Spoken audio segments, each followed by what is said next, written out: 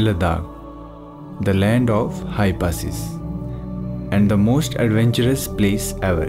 मैं यहाँ चार से पाँच बार जा चुका हूँ बट ये जो इस बार का जो सफ़र था ये बहुत ज़्यादा यूनिक और मेरी फेवरेट मेमोरीज में से एक रहने वाला था जानते हो क्यों आपने ये डायलॉग तो सुना ही होगा age is just a number and it's actually proven by our guest from New Zealand.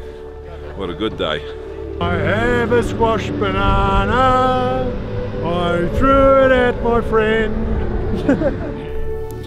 जो यहाँ इतनी दूर से मोटर बाइक टूर करने के लिए आए थे।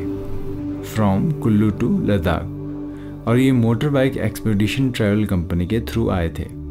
And I was also hired for video shoot मैं जब उनसे मिला आई वॉज़ रियली शॉक्ड क्योंकि गेस्ट की जो एज थी, वो मेरी एक्सपेक्टेशन से बहुत ज़्यादा थी। Old bearded guys, the grey beards.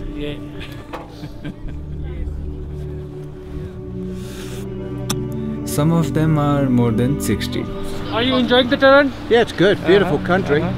It's even nice stopping here so see the digger at work. Lovely. That first valley, very pretty.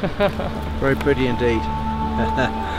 उनका जो ट्रैवल को लेकर पैशन था that really blows my mind तो इनके साथ मेरा सफ़र कैसा रहा वो आपको इस लद्दाख सीरीज़ में देखने को मिलेगा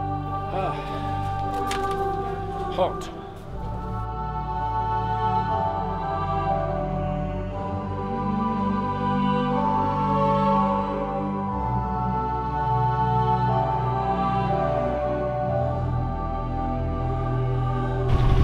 Again?